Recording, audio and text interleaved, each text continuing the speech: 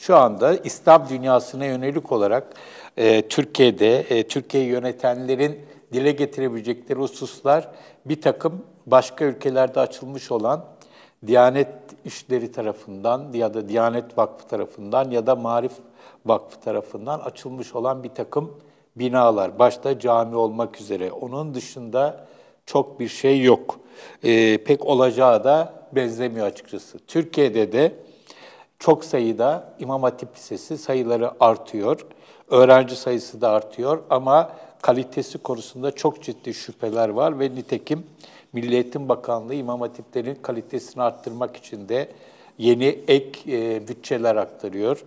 Çok sayıda e, medyada, sosyal medyada İslam adına konuşan çok sayıda insan var ama bu insanların e, çoğu seviye anlamda çok alt düzeydeler.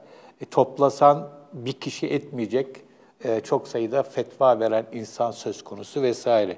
Yani sonuçta bir 17 yılın sonucu bir e, tam anlamıyla bir e, nasıl söyleyeyim fiyasko.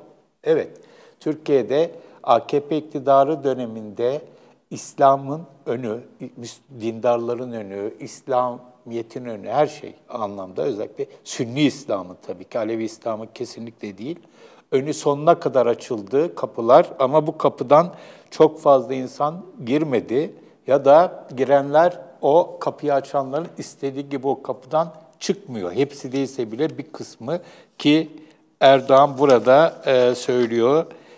İstikbalimizin teminatı olarak baktığımız evlatlarımız çoğu batı menşeli, batılı zihin ürünü sapkın akımlar karşısında ne yazık ki savunmasız kalıyor diyor.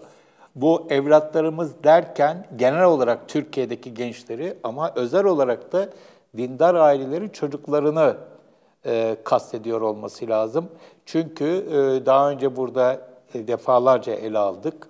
Özellikle dindar aile çocuklarında, yeni kuşaklarda deizm, yani e, din olmadan bir Allah inancı diye özetleyebiliriz.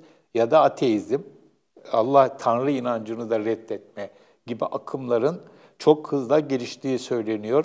Çok sayıda insanın son dönemde dinle olan ilişkisini azalttığı ya da arasına mesafe koyduğu ya da görünüşte bir takım pratikleri yapar görünmekle beraber aslında e, inanç anlamında çok soğuduğu yolunda bir takım araştırmalar da var, gözlemler de var.